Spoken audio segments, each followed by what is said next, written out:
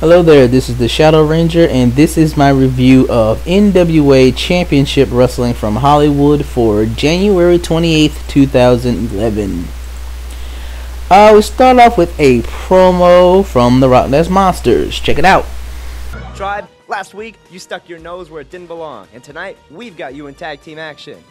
And don't worry, we're not looking past you. You're easily one of our biggest challenges to date. But I think by the end of the night, Hawaiian Lion will be reduced to being a Hawaiian kitty cat in the lap of Navajo Warrior who will be shedding a single tear for pollution on the highway and because he just lost to the RockNES Monsters. And in the off chance that we ever get frozen, when we get woken up a thousand years from now, I want to be able to tell our new robot and What I'd Mutant friends that we were the greatest NWA Heritage Tag Team Champions of all time. And when a talking lobster doctor comes up to us and says, Who do we beat for those tag team titles? It's going to be such a great privilege to say that it was you, Natural Selection, because we are the RockNES Monsters, and we will rock you. Our first match is the RockNES Monsters versus the Tribe. Something I, that's been I've been noticing the past few weeks. Uh, what is up with the Tribe's valet? She doesn't seem to fit with them. You, you got Navajo Warrior was supposed to be like this Native American with his face paint and his um his like bone hatchet. He got Hawaiian Lion with his like tribal tattoos. And you got Olivia who just looks like a normal woman. Should I mean shouldn't she have a look similar to the, the team? Like shouldn't she be like an Indian princess or a Hawaiian princess or something? Like uh something? Like I don't know. I just look at this team to try, and I think like if they're gonna have a valet, it should be like a a, a cute girl in a loincloth with some name like Princess Ayakea or something like that. I don't know. Olivia just doesn't seem to fit. Maybe get her like a loincloth outfit to wear or something. Um, I enjoyed this match. It was a good opener. You know, the Tribe were two powerhouses like they always were. You know, the RockNES Monster showed off their speed and agility. Uh, the teams worked well together, and it was good to watch. Unfortunately, the the ending of this match left me disappointed. Check it out. Could be time. Could be could be reservation devastation. But wait a minute. Oh, Rasche Brown and, and Slim have a hold of Olivia on the outside. Olivia just got shoved into Navajo Warrior, and now the tribe has turned their attention from their opponents in the ring to two men that are not even involved in this match. Well, this could be poetic justice. You'll remember there was the tribe that, that may have very well cost Brown and Slim Oh, but heritage titles. ring. Look out, explosive amnesia by the former champions. And look at this good time in the high rent district. Big frog splash to the back of Hawaiian Lion's head. And the RockNES Monsters come away with the victory. Incredible win there. Mower Tribe versus Slim and Rasche Brown. You know, I like Rasche as a single. The Tribe's okay. I said before, Slim just doesn't do it for me, and that's just what's keeping me. And he's kind of what's keeping me from getting into this feud. But I don't know. Um, next up, we get two promos. One with Adam Pearce talking about tonight's title match against Joey Ryan, and one with Austin Aries talking about his upcoming match with Scorpio Sky. Check them both out. Okay, folks, tonight on the broadcast, Joey Ryan, Hollywood's own Joey Ryan, gets his shot at the NWA World's Heavyweight Championship, and I, uh, I'll say it should have come a whole lot sooner. But, but here's Hold the right there. It should have come a whole lot sooner. Why? What are you? You some kind of prognosticator? What? well, you know, I, I just believe he probably should have had a chance earlier on. And why is that? Well, he's had an awful lot of victories here on television and matches, and he has a, he has a pinfall over you. Oh, smart Alec. See, that's a problem with people like you and like people at home. They want to point fingers. They want to make accusations. Looks to me like pointing fingers probably got you in a little trouble there, Marquez. Well, let's see what kind of trouble we're going to get into tonight. So, Joey Ryan, it's been a little too long. A little too long. Joey Ryan, you should be counting your lucky stars that it's taken what people like Marquez think is too long for you to shot the World's Heavyweight Championship. It's been a little while. Some would say, some experts, some pundits, some idiots like this one standing next to me would say that you deserved this chance a long time ago. But it would seem to me, Joey Ryan, that you've had a lot on your plate. Pretty Peter Avalon, Rock Superstar Chaos. You want to accuse me, David Marquez, of putting them in front of me? Is that what you're saying? Maybe. But that really doesn't matter, does it, Joey Ryan? The bottom line is tonight at the end of this hour, the lights will come down on Hollywood's own. You should pay close attention over the last several weeks to see what happens to people that get in front of me. And if you have any idea, any question in your mind, make a phone call to Colt Boom Boom Cabana. He could tell you what'll happen. Yeah, I'd agree with that. But you said how what, what people have been doing, that you've been doing to people, but there's an individual here that we saw just a few weeks back in Nick Madrid.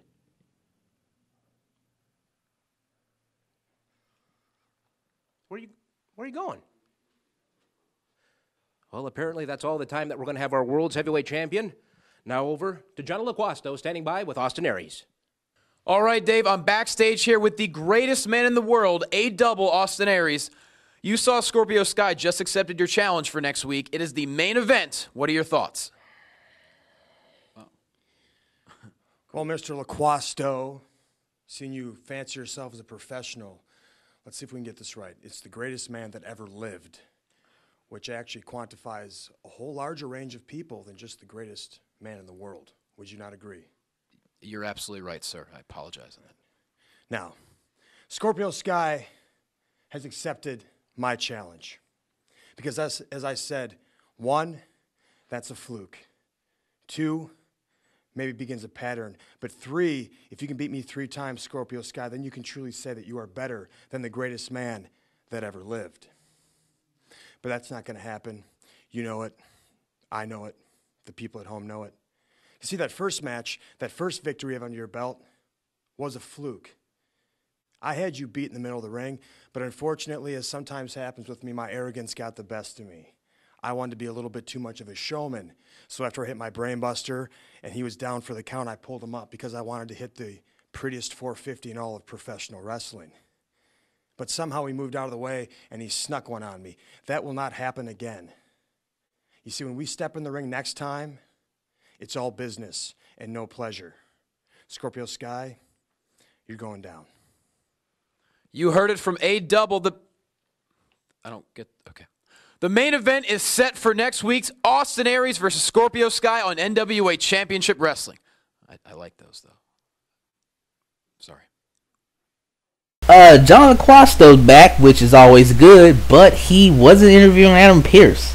Dave Marquez was. I kind of think it should have been the opposite because, you know, him and Adam Pearce together is just gold. I got a, another video up with two um, promos of the LaQuasto interviewing Adam Pearce. They're just really funny together, and I like seeing them together.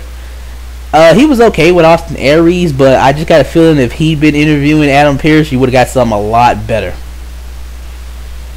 Um, next up, we have Nick Madrid versus uh, someone else I'm seeing for the first time. This is Gabriel GQ Gallo. I like that name too. Listen to Gabriel GQ Gallo. I like that. Um, I like Gallo's music. He looks really good. The match was fun to watch. Nick Madrid is really good at playing a babyface in peril. He easily got the crowd behind him. You know, they was really into him, so was I, and I really wanted wanted him to win, and I'm glad he did. You know, I, I kind of like they. It seems like they're gonna go with him as sort of like an underdog who manages to p- pull out the win. If that's what they're gonna do, I could get behind that. And I haven't seen a good underdog wrestler story in a while. Um, that's this is my first time seeing GQ Gallo, so I'm gonna need to see more of him before I really make a lot of comments on him. Uh, the commentators mentioned that he was a two-time NWA Arizona champion and that he's been wrestling for 10 years. That's cool. He looked good, and I want to see more of him. Ooh, Shiny Dude promo is back.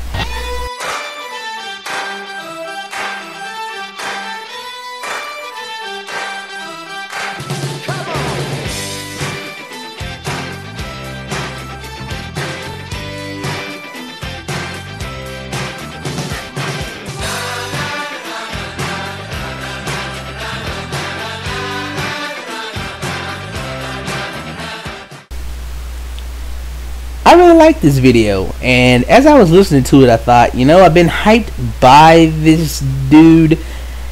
I really hope Shiny Dude doesn't suck. And fortunately, I didn't have to wait long to find out if he did. Because our next match was SoCal Crazy versus Shiny Dude. First up, Shiny Dude's name is the Mirror Image Ricky Mandel. As I say this, I keep wanting to say Buddy Landell. Because he kind of has like a Nature Boy thing going too. But his name is the Mirror Image Ricky Mandel. I like the name. And instead of talking about the match, and which the match was pretty good, let's just talk about Ricky for a minute. I like Ricky. I like Ricky a lot. Uh, first of all, a custom belt with a mirror on it is awesome. You know, normally I hate when I uh, I hate seeing like when the heel female wrestler will check her reflection in the title belt. You know, uh, Lay Cool does it, Madison Rayne does it, and it's just stupid. It's not stupid when Ricky Mandel does it. It actually makes sense when he does it because one, it fits his gimmick, and two, his belt has a mirror built into it. Yeah. Kudos to who, whomever came up with title belt with a mirror on it. I that's just that's just something I had I've I've never seen before, and I really like it. It works. Um. Ricky plays his arrogant, I'm sexy, I'm beautiful, I'm the best looking man alive gimmick very well. Um, he pulled out one of the old rude gyration move. I hadn't seen anybody do that in a while. Know, he looked good in the ring, and he was able to get a lot of heat from the crowd. Just look at how he ended the match. Check this out. Crazy ducks the clothesline, does Mandel. Likewise, SoCal Crazy ducks. Oh! Wait a minute! he pulled his mask off. Wow, what a show of disrespect. Officials out here to help the man cover up. A count is being administered here by the official. Oh my goodness. Wow, this is this is the most disrespectful thing you can do to a luchador right here. The mask means everything to these guys. I can't believe what we've just seen.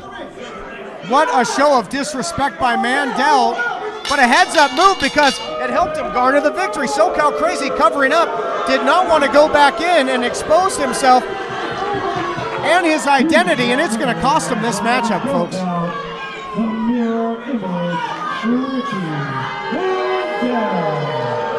Again, just a disgusting victory in my books. Well, we've talked, guys, in the past that that mask can be an advantage, it can be a detriment, and it was in this matchup. I guess he's going to have to look at himself in the mirror after that victory. Indeed. Here to get a word with the victor, president. Listen to me. I don't care about SoCal crazy or his stupid traditions.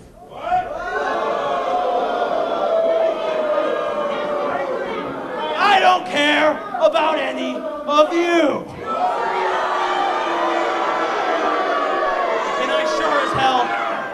Don't care about you, Jeff Resnick. I am the mirror image, Ricky Mandel. And I am the best looking champion in pro wrestling history. That was just nasty. He pulled off a luchador's mask. That's just low. That's the lowest of the low. And you know, I really want to see more of the mirror image. In fact, I like everything about Ricky Mandel. Except one thing. His entrance thing. What was up with that thing? It doesn't fit his character at all. He, he needs an arrogant heel entrance thing. Let, let, let's, let's do some comparisons. Let's take another look at Ricky's entrance. But instead, I'm going to put in the theme music of some arrogant heel wrestlers from the past. Alright, first off, let's see Ricky come in to the theme of Mr. Perfect.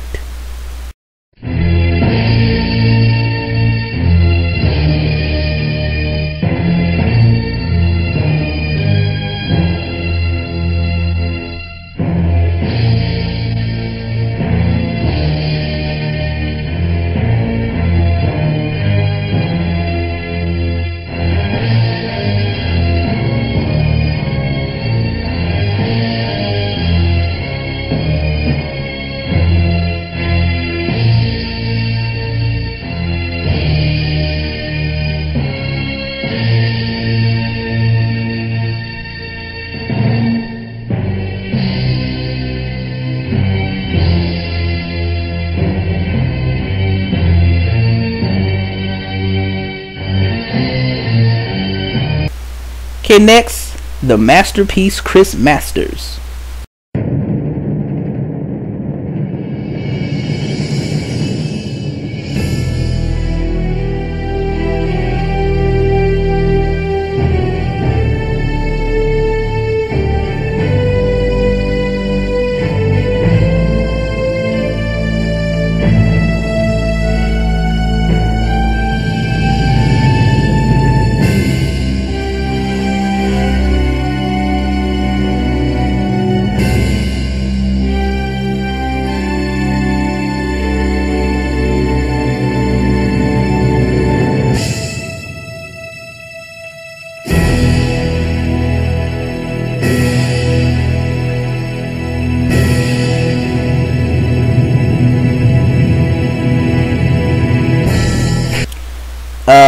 Next one is Ravishing Rick Rude.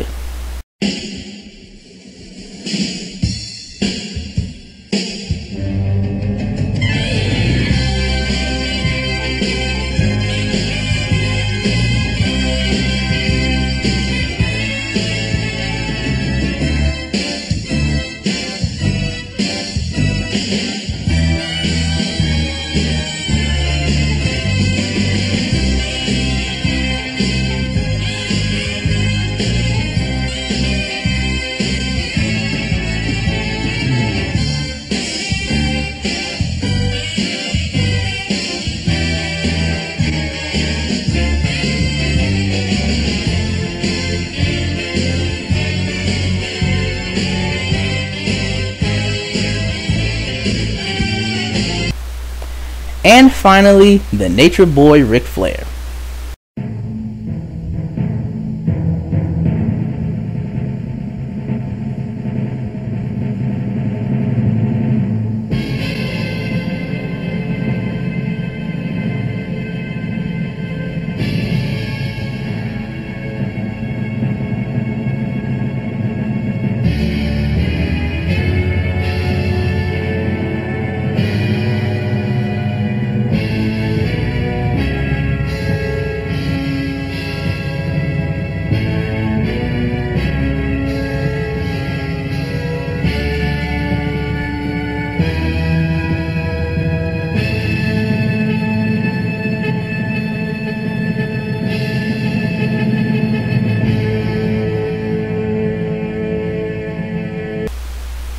Those all work very well with Ricky's uh, with Ricky's character. Now listen to what we actually got as his interest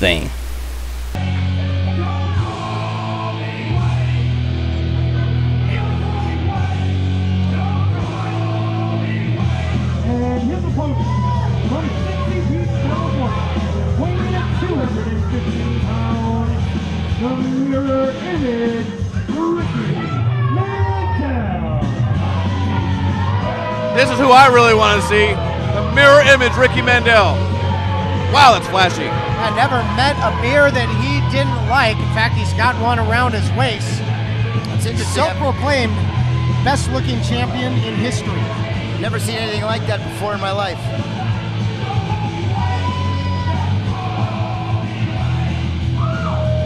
A lot of sparkles in there, guys. Certainly are. Tell you what, Mandel really full. Of- What the hell? Get the dude some new interest music. Um, next up, Johnny LaQuasto's back. Johnny LaQuasto on, on TV is always good, and he is having an interview with Mr. Megastar Tommy Wilson. Check it out. Johnny LaQuasto here backstage with one of the new future rising stars of the NWA, Tommy Whoa, whoa, whoa, whoa. What do you mean, future rising stars? I am the star. I am Mr. Megastar, Tommy Wilson. Don't you ever, ever, ever mess that up again. Sorry, Mr. Wilson. Uh, what I was really trying to ask is what's next for you in the NWA after your impressive debut two weeks ago? What do you think I am? Some kind of goober? Do you think I'm just going to tell you what I'm going to do? Do you think I'm just going to reveal my plans? I am an evil genius. I will keep everything right in here. And when it all comes out, people will see the true greatness that is Mr. Megastar, Tommy Wilson. Clearly, Tommy Wilson styling and profiling his way to the top. Nothing's going to stop him. Tommy still doesn't do it for me. Huh? I, I I still need to see a little more of him in the ring, but I'm just not feeling him so far. Um, and next up is tonight's main event. It is for the NWA World's Heavyweight Championship. Hollywood's own Joey Ryan versus Scrap Iron Adam Pearce. This was another very good Adam Pearce match. I like Adam Pearce more and more every time I see him. There is, you know, there's a there's too much for me to say about this match, and uh, highlights aren't, aren't really going to do it good enough. It was just really good, so I am going to upload this match to YouTube for you to watch. I liked every minute every minute of it. I thought that the ending was something was was really good. Um, they used to set up the main event of next week's show. Even though neither of these guys are in the main event next week, they were still able to set up next week's main event. It was an all-around good match. I enjoyed it, and I think you will too. Overall, this was a very good episode of NWA Championship Wrestling from Hollywood. I'm looking forward to seeing Austin Aries versus Scorpio Sky next week, and I want to see if the standard is going to go after Nick Madrid because Adam Pearce kind of hinted at that last week. I'm also wondering who's going to get the next title shot against Adam Pearce. As usual, my only other complaint is that there was no Willie Mack on the show this week. However, there was also no Manimal, so I think they kind of even things out. But that's really all I have to say for this week's episode. Uh, the link to the website is in the description box. Hop over and check it out. I enjoyed it. I think you will too. This is the Shadow Ranger. If you like my videos, please subscribe and follow me on Twitter at TJSMITH3. Have a nice day. Thank you for listening.